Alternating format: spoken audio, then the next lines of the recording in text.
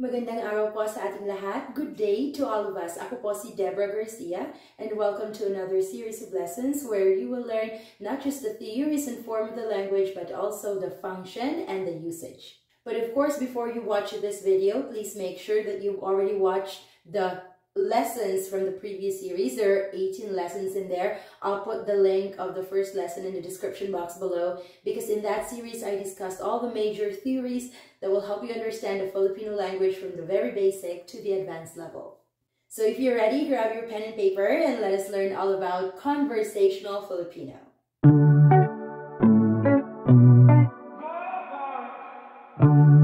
So I already put our topic for today's class it says comparisons. Let us compare. Comparisons in Filipino, we say pagkukumpara. It sounds the same, right? Comparison, kumpara. And then when we say let us compare, we say magkumpara tayo. So later I am going to show you two pictures and we need to compare them. Also, since we started answering um, incomplete sentence from the previous lesson, we are going to do that today as well so that you won't forget how to do it. And then by answering incomplete sentence, then you would be able to form longer sentences in Filipino. Okay, here are the two apartments that we need to compare. So we have apartment A and then we have apartment B. Apartment A has isang kwarto. Um, it has a three-piece CR.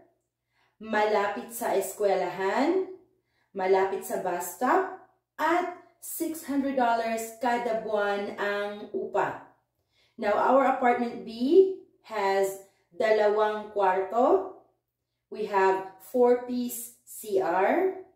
Malapit sa mall libre ang parking, and it's 1,000 kada buwan ang upa. Okay, so here are the details of the two apartments and then I have five questions prepared for you. Can't fit all five here, so we'll take it two at a time. So, apartment A says, isang kwarto and three-piece ang CR. CR is washroom or bathroom. In the Philippines, we call it CR comfort room. But uh, in public places, we call it restroom as well. CR, comfort room, or restrooms. And then it says here, malapit sa eskwelahan. In the previous lesson, we discussed eskwelahan. So, eskwelahan is school. Malapit. We also tackled this one. Malapit is near, right? This one is malapit sa bus stop. So, malapit again it's near the bus stop. And then upa. Upa, we discussed this in the previous lesson. So the upa is $600 kada buwan, every month. Okay? Now let's go to apartment B. Apartment B has dalawang kwarto. This one is isa, this one is dalawa. Dalawang kwarto. And then, four piece ang CR. Malapit sa mall libre ang parking. It's talking about parking. It's the same in English, parking. Libre is free. Free ang parking. The parking is free. And then the upa, the rent, is $1,000 kada buwan or every month. Now, first question. Ilan ang kwarto ng apartment B? This is very easy. I think I asked this kind of question in the previous lesson as well. So, ilan? Ilan is how many? How many kwarto?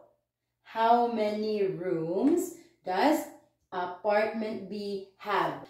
How do we answer in complete sentence? So, we start with, we can start with the number. How many? It's asking for a number, right? Ilan? How many? How many? Dalawa. So, we say dalawa ang kwarto ng apartment B. Ilan ang kwarto ng apartment B? Dalawa ang kwarto ng apartment B. Easy? Yes, very easy. Okay, number two. Saan malapit ang apartment A? Saan is where? Where? Near the apartment A. Or, where does apartment A near to? So, there are two answers here. See? Malapit and malapit. Malapit sa eskwelahan and malapit Sa bus stop. So, saan malapit ang apartment A? We start here. Malapit ang apartment A sa, we have a preposition there, sa. Malapit ang apartment A sa eskwelahan at and is at. At sa bus stop. So, malapit ang apartment A sa eskwelahan at sa bus stop. Okay? Or you can also say, malapit sa eskwelahan at sa bus stop ang apartment A. You can also start with this one because we start with malapit here, right? So, you can insert the, the locations here. Malapit sa eskwelahan at sa stop ang apartment A. Either way will do. Okay, next questions. Number three, magkano ang upa sa apartment B kada buwan? Magkano is how much, right? How much is the upa? The rent of apartment B every month. So how much is the rent of apartment B every month? So the answer is 1,000. So we can start with the number 1,000. We say $1,000 ang upa ng apartment B kada buwan. $1,000 ang upa ng apartment B kada buwan. Okay, so we always get this from the question itself. So, number four, ano ang CR ng apartment A? Ano? It means uh, what is, what is the CR of apartment A. So what kind? What kind of a washroom is it? So what kind is it? Three piece, right? Three piece. So we say three piece ang CR ng apartment A. Three piece ang CR ng apartment A. That's the answer. Okay, number five. Last question. Alin sa dalawang apartment ang may libreng parking? Alin is which? Which of the two? Dalawa is two, right? Dalawang kwarto, two. Dalawa. Which of the two apartments has free parking? So, sa apartment B, may libreng parking. So, you start with a preposition. Sa apartment B, has libreng parking. So sa apartment B, may libreng parking. Or you can also start with a verb, has or have, may. May libreng parking sa apartment B. So I hope you took a screenshot of the pictures of those two apartments that I showed to you earlier. These are the adjectives that we can use to describe those two apartments. So I have the adjectives and the antonyms. So these are the opposites. Malaki and maliit. It means big or, um, and small. Malaki is big, maliit is small. Bago is new. Luma is old. And then mahal is expensive. Mura is cheap. So if we are going to use this word, this adjective to describe the apartment, the apartment, so we put this to apartment B, right? Because the apartment B is bigger, it has two bedrooms, dalawang kwarto. So we say, malaki ang apartment B. Maliit ang apartment A. This one, bago. Bago ang apartment B. Luma ang apartment A. Okay? This one, mahal ang apartment B. Mura ang apartment A. That is when you are stating the, the positive form or the degree of adjective. But this one, when we go to the comparative degree, if we are going to compare the two apartments and then we are going to form the comparative degree of these adjectives here. So for example, number one, if we say malaki, that's big. If we say bigger, if we are comparing the, the two apartments, so B is bigger than A, right? So we say, mas malaki ang apartment B kaysa sa A. What do we do here? We add mas. If in English you add ER or if you add more, so if you say big bigger, or if you say beautiful, you would say more beautiful. In in Filipino language, it's easier compared to English because we don't need to decide should we add er or should I use more or better. So here we just use mas, mas. It's the comparative form. Um, in the next lessons, we are going to discuss, or maybe in the next lesson, we are going to discuss the, the three degrees of adjective. So we have the superlative form. Today, it's just the comparative. So we say, mas malaki ang apartment B kaysa than um, apartment A. Kaysa sa. We, we need to put the entire phrase kaysa sa. Than and then we have we have a preposition here, sa. It can also mean to. So compared to, compared to A. So, yeah. Mas malaki ang apartment B kaysa sa A. Apartment, apartment B is bigger than or compared to apartment A. Next one, we say, and then the bago. Oh, by the way, if we use maliit, how can we how can we form our sentence? How do we form our sentence when we, when we use the maliit, the opposite of malaki?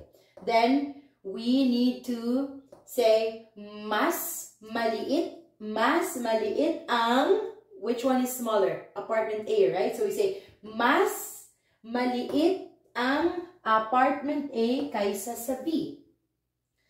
Number two, we say bago, new. Mas bago ang building you know building, right? The building. Um, in Filipino, we say gusali.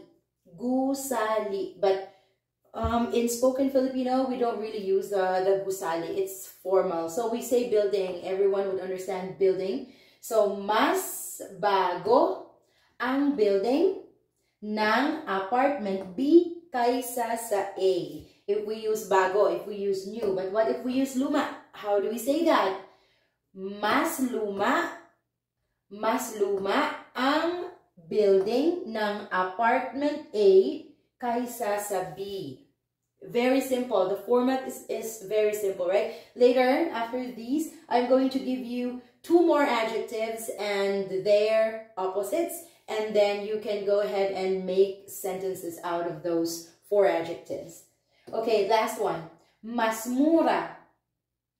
Cheap. Uh, cheap we use this one, cheap mura. Mas mura ang upa. So, the rent is cheaper. Mas mura ang upa sa apartment A kaysa sa B. So, the rent is cheaper in apartment A compared to B. That is when we talk about cheap.